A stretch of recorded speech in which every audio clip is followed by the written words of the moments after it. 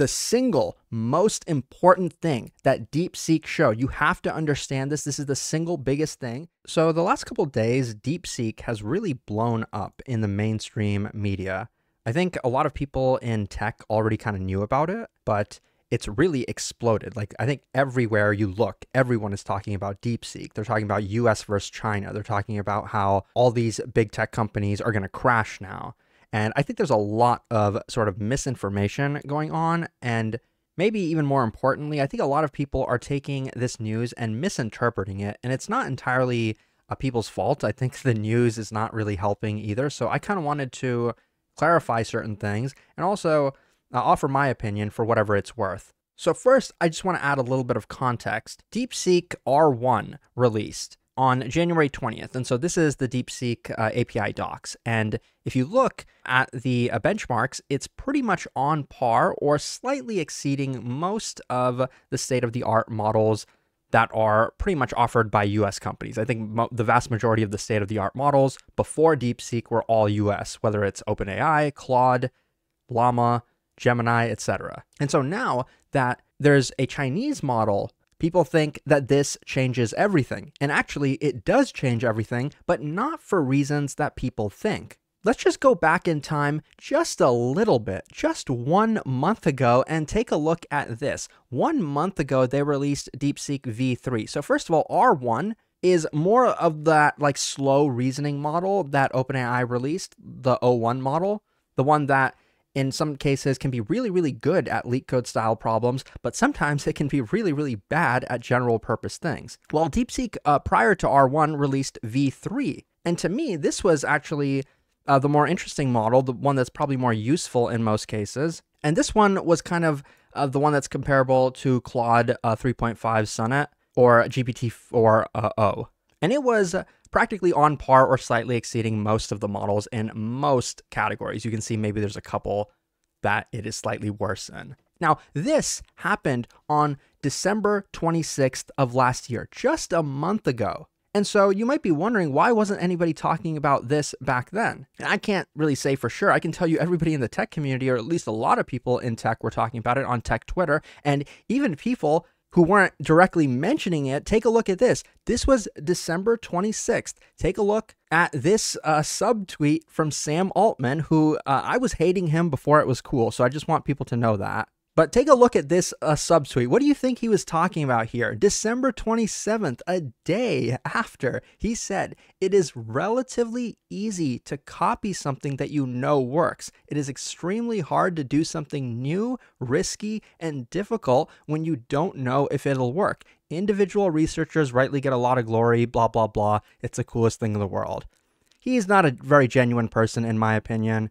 But what do you think he was talking about? He was talking about DeepSeek, in my opinion. I don't think that's like a conspiracy theory to say he's subtweeting about DeepSeek. Why didn't he mention it by name? Because he didn't want it to blow up. He didn't want it to get attention. It took a little while for the media to kind of catch up and realize that uh, DeepSeek existed, but eventually they did. And you can see that some people did actually know. Uh, if you scroll through the replies, there were at least one or two people saying kind of DeepSeek has left the chat.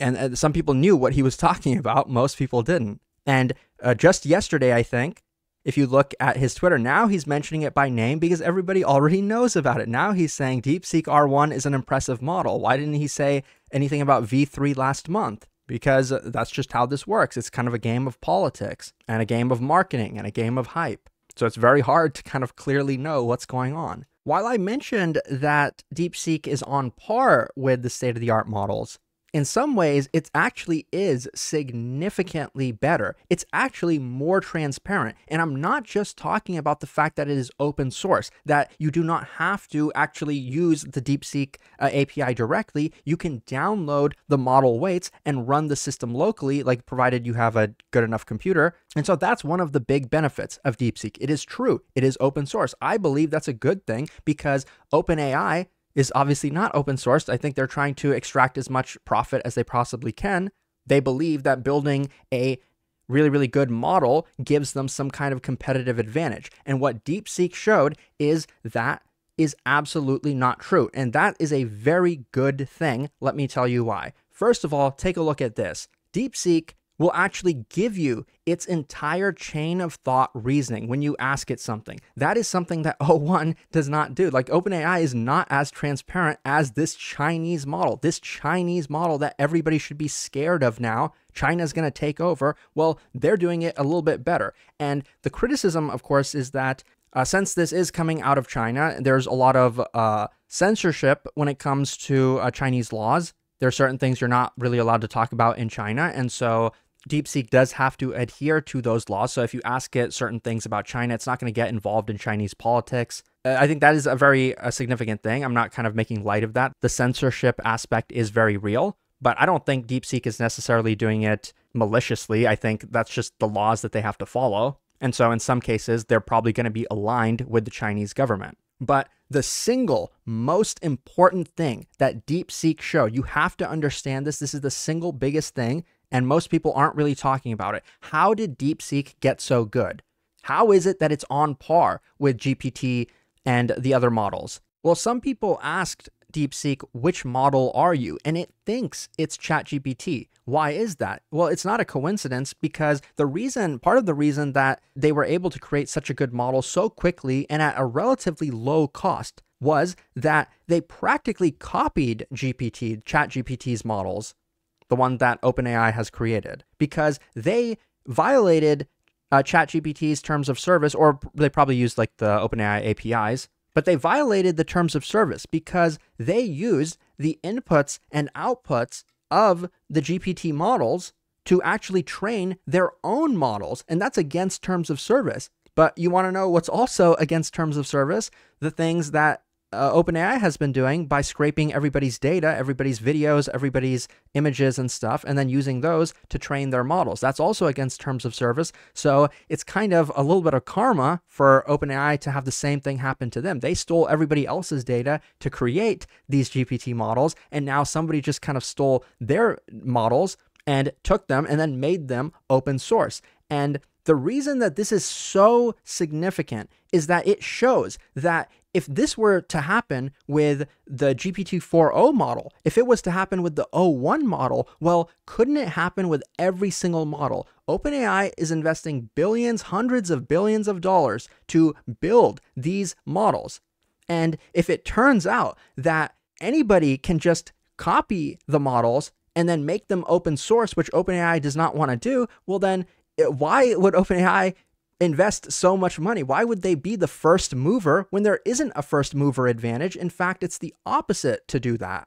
And it's not just going to be DeepSeek now. This is very, very good for the world, in my opinion, because now my prediction, and I don't think it's a crazy one, a lot of the US companies, including Meta, who has also been doing a lot of open source work, they're going to do the exact same thing. Now they're going to have state of the art models. And so it pretty much guarantees that the best models are pretty much going to be open source eventually. And it's probably going to happen pretty quickly just like it has with uh, DeepSeek. Now, what exactly does this mean for like the big tech companies that are investing billions and billions into this? Well, I think some of them are probably going to think twice about it even though, you know, in Sam Altman's position, he's not going to tell them that. He's going to say, well, we still, now, this is just a reason for us to compete even harder against China. Let's pour more money into this because then we'll have uh, an advantage over China. China's catching up. No, China did not show that they're catching up. They showed that everybody is already on an equal footing. That's what they showed. And like, do not miss that. Sam Altman is not being entirely truthful with what he's saying. And of course, like there's plenty of other misinformation going on where people think that the CEO of uh, DeepSeek is a memer. I think that's uh, pretty unlikely. And uh, yeah, that's that's misinformation. Um, I, would eh, uh, agree with this kind of conclusion. DeepSeek is a really, really good model, but it's not generally better than all the models that are available right now. It has kind of some pros and cons. That's why I think it's like roughly on par with those models. Most people wouldn't really be able to notice the difference. And so those are kind of my thoughts. Um, maybe some of you guys disagree. I'd be happy to hear what you have to say in the comments. But I think I am roughly correct with most of the things that I've said here. I think it's a very, very interesting thing that's going on. It's fun to follow. I can't really say what it means for uh, how the tech market is going to go. Is NVIDIA as a company that sells GPUs now going to go up or is it going to go down? Who knows? What does this mean for tech hiring? I, I really don't know. maybe somebody on the internet can tell you what it means and they can tell you it very, very confidently. But I think this shows that in many cases, even experts have no idea what they're talking about. And that's what I've been kind of saying, I think, for the last year or two, that you can't really trust the experts because either they could be lying or they could just be flat out wrong. I don't think most people would have predicted that DeepSeek would have came and uh, kind of just annihilated the uh, advantage of creating uh, state of the art models. Nobody would have predicted this. None of the experts. I didn't see any of the experts predicting this, but it happened, and it happened, I think, sooner than people would have expected.